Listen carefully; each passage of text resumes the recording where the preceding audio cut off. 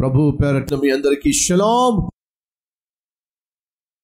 ఎప్పుడైతే దావిదు తన కుటుంబాన్ని పోగొట్టుకున్నాడో దూరం అయిపోయిందో దావిదు చేసిందని తెలుసా? చిన్నగా దేవుని దగ్గరికి వెళ్ళాడు. అయ్యా ఏమిటి పరిస్థితి? నా కుటుంబాన్ని నేను పోగొట్టుకున్నాను. నా కుటుంబం నాకు దూరం అయిపోయింది అన్నీ ఉన్నాయి. కానీ నాకు కుటుంబం లేకుండా అయిపోయింది. దేవుని దగ్గరకు వచ్చి మొరపెట్టాడు. సహోదరి సహోదరులు కుటుంబంలో సమస్య వస్తే లోకమంతా చెప్పుకోకండి. సహోదరి నీ భర్త ఒకవేళ సరైనవాడు కాకపోతే లోకమంతా చాటించు మాకు. సహోదరా నీ భార్య ఒకవేళ గయ్యాలి భార్య అయినట్లయితే లోకమంతా ప్రచారం చేయమాకు చాలామంది స్త్రీలు చేసే పెద్ద తప్పేంటో తెలుసా? ఇంటి గుట్టంతా రట్టు చేసుకొని ఊరంతా చెప్పుకుంటారు. మా ఆయన అలా అంటోడు మా ఆయన అలా అంటోడు మా ఆయన అలా అంటోడు. మీ ఇంట్లో ఉన్నటువంటి సంగతులు తీసుకుని వెళ్ళి పక్కింటి ఆవిడికి ఒకవేళ నువ్వు చెప్పినట్లయితే ఈరోజు నీకు ఆమెకి మాటలు బాగున్నాయి కాబట్టి నువ్వు చెప్పిందంతా వింటుంది. కానీ రేపొద్దున పొద్దున ఒకవేళ మీ ఇద్దరి మధ్య స్నేహం చెడిపోతే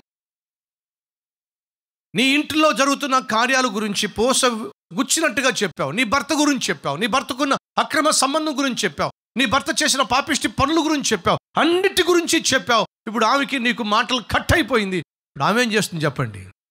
వెళ్ళి ఊరంతా చాటిస్తుందిగా.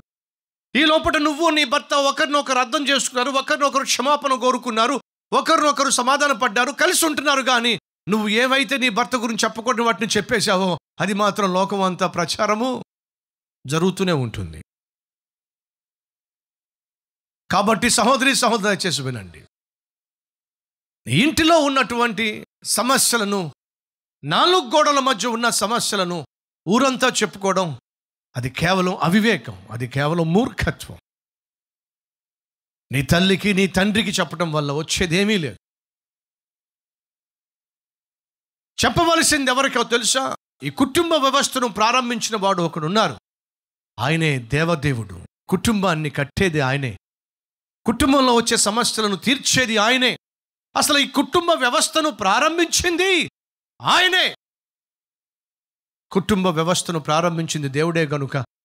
నీ కుటుంబంలో సమస్య వచ్చినప్పుడు చెప్పాల్సింది ఎవరికి? దేవుడికే చెప్పాలి.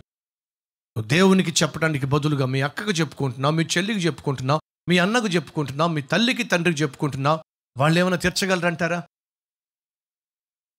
ఈరోజు ఈ విధమైనటువంటి పరిస్థితికి నన్ను నువ్వు వెళ్తున్నట్లయితే దావీదు వేసిన అడుగు నువ్వెయ్యాలి ఏమిటి దావీ చేసింది? దేవుడిని చెప్పుకున్నాడు ప్రభా దేవా నా వాళ్ళని నేను పోగొట్టుకున్నాను. నా కుటుంబం నాకు దూరం అయిపోయింది నీ భార్య దూరం అయిపోయిందా నీ భర్త దూరం అయిపోయాడా అయితే నువ్వేం చేయాలి? చాలా సందర్భాల్లో ఇలా భర్తను పోగొట్టుకుని దూరం చేసుకుని భార్యను దూరం చేసుకుని వాళ్ళు నా దగ్గరికి వచ్చి ప్రార్థనా సహాయం కోరుతారు. అతను వచ్చి అంటాడు అన్న ప్రార్థన చేయండి అన్న. దేనికయ్యా? మా ఆవిడ వెళ్ళిపోయింది అన్న ఎందుకు వెళ్ళిపోయింది? మా ఆవిడ అసలు మంచిది కాదన్న దుర్మార్గురాలన్న. నోటికి ఏ మాట వస్తే ఆ మాట అనేస్తుందన్న ఇష్టం వచ్చినట్టుగా మాట్లాడద్దన్నా గొడవైందన్నా కాబట్టి నేను కోపంతో పో బయటికి అన్నానన్నా ఆమె వెళ్ళిపోయిందన్నా. సరే ఇప్పుడు నన్ను ఏం చేయమంటావు? మనం ప్రార్థన చేయండి అన్న. అదే దేనికోసం ప్రార్థన చేయమంటావు? అదేనన్న మా ఆవిడ తిరిగి వచ్చేలాగున ప్రార్థన చేయండి. మీ ఆవిడ మంచిది కాదన్నావుగా? మీ ఆవిడ నోరు మంచిది కాదన్నావుగా? మీ ఆవిడ గయ్యాలన్నావుగా? మరి గయ్యాలి భార్య ఇంటికి వస్తే మళ్ళీ తిప్పలు తప్పుగా? అయినా పర్వాలేదన్నా. అయినా పర్వాలేదా? ఆ ఏడుపేదో ముందేడుస్తే బాగుండేదిగా? అయినా పర్వాలేదని ఇప్పుడు అంటున్నావుగా? మరి అయినా పర్వాలేదన్న వాడి ముందే జాగ్రత్త పడొచ్చుగా? అనేక సందర్భాల్లో భర్తను విడిచిపెట్టి కోపంతో పుట్టింటికి వచ్చిన వాళ్ళ విజిటింగ్ అవర్లో ప్రార్థనా సహాయం కోరుతారు. అన్న ప్రార్థన చేస్తారా? దేనికమ్మా? నా భర్త బహు దుర్మార్గుడు. మాటి మాటికి కొడతాడు. ఇష్టం వచ్చినట్టుగా మాట్లాడతాడు తిడతాడు. కోపం వస్తే ఎలా ప్రవర్తిస్తాడో ఎవరికి తెలియదు. అంత దుర్మార్గుడు. తట్టుకోలేక పుట్టింటికి వెళ్ళిపోయా. సరేనమ్మా ఇప్పుడు నేను దేనికోసం ప్రార్థన చేయమంటా? ఏం లేదన్నా. మరలా నా భర్త నన్ను అంగీకరించులాగున ప్రార్థన చేయండి అన్న. ఎందుకమ్మా? దుర్మార్గుడిగా? పాపిష్టోడుగా?